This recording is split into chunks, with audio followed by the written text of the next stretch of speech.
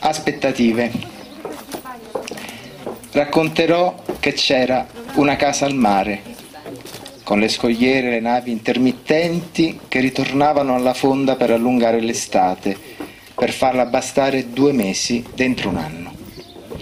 Aggiungerò persino che arrivavano i cacciatori della domenica di sole, ripartendo a scaglioni, con la fretta inaudita di chi dimentica il chiar di luna, il lupo di mare, la francese, come se in città ci fosse ad aspettargli una vita molto più enorme di fornelli e lavoro. Non potrò dire che prima di nascere ero già lì ad aspettare una notizia, per esempio che il bel tempo non sarebbe mai finito, il caldo neanche, con le mosche incollate che annunziavano che presto anch'io sarei stato della ciurma di famiglia. I negozi raddoppiavano i prezzi in ottobre, ma al contrario, rimpatriati villeggianti. Vespe e api ritornavano in letargo e come i fiori i parti si chiudevano al tramonto. Concluderò che stare al mondo è lasciarsi acconsentire, confiscarsi in un luogo che sarà per sempre quello, una volta scaricate le borse nel freddo del portone che ricorda mille agosti e li ferma nel dolore. Grazie.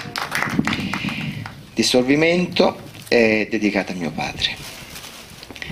Diciamo pure che eri fatto come una miccia o una stiva, che ti attaccavi anche all'aria che non respiravi perché sapevi cos'era perdere ogni cosa all'improvviso lungamente, calpestandoti o guarendo, fissandomi all'interno dei tuoi pensieri irreali, guarda come la tua vita si è incuneata nella mia, trasformandoti sempre e modificando anche me, che ora perdo scrivendoti e ricostruendoti altrove.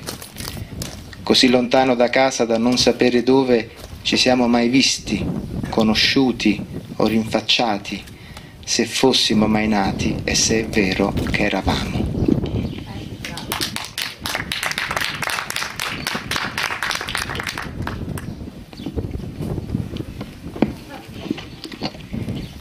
Milano centrale. La massa amorfa dei palazzi di Milano è sfocata, è perpetua, come un occhio che brilla per il pianto, ripensando a queste strade sconosciute e millantate di successo e convivenza. Io le costeggio come un animale di una razza ancora da inventare e a metà del filo del discorso vorrei urlare perché spunti la luna o si illumini un lampione e mi orienti da lontano spingendomi tra queste pietre disumane. Che un uomo si perda dove tutti stanno male è incredibile se lo si dà a vedere perché una città serve a vivere in carriera e magari non si illude che le strade siano vere.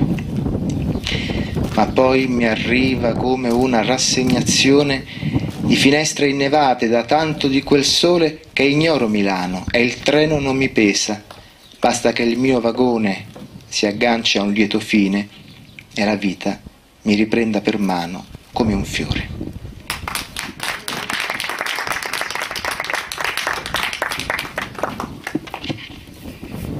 l'ultima. Poesia se riesco a cliccare è anche in linea col tempo fine settembre.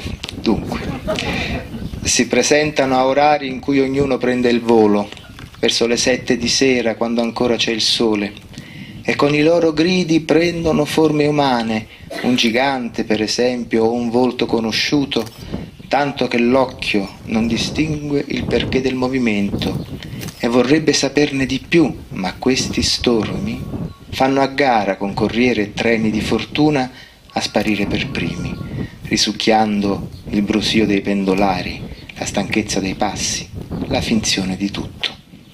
Vanno dove si disperdono altre voci, questa volta scaturite dalle case in lontananza. E c'è chi come noi ricorda vagamente dove abbiamo ascoltato per primi le parole che non hanno ritorno. Grazie.